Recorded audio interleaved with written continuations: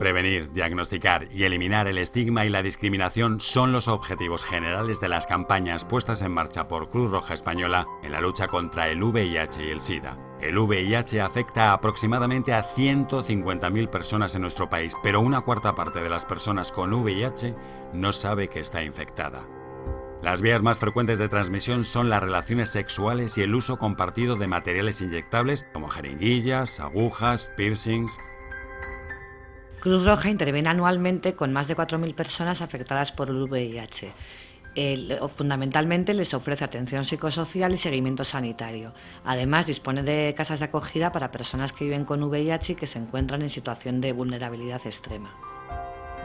Casi la mitad de las personas con VIH en España son diagnosticadas tardíamente.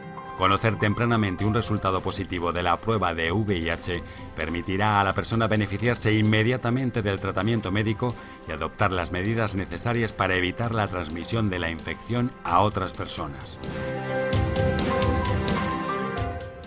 Con la financiación de la Consejería de Sanidad de la Comunidad de Madrid a través de la Dirección General de Atención Primaria, Cruz Roja ha puesto en marcha una unidad móvil de detección de los anticuerpos del SIDA que permite conocer con un procedimiento muy rápido si una persona ha sido infectada por el virus.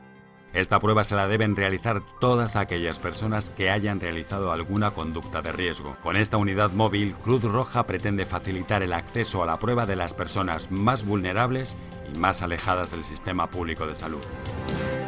Con la financiación y el asesoramiento del Plan Nacional sobre el SIDA del Ministerio de Sanidad, Cruz Roja cuenta con un servicio multicanal de información y prevención del VIH que permite a cualquier persona de manera anónima, confidencial y gratuita informarse sobre el virus, sus vías de transmisión y las conductas de riesgo, así como de dónde realizarse la prueba en el caso de haber vivido alguna situación de riesgo.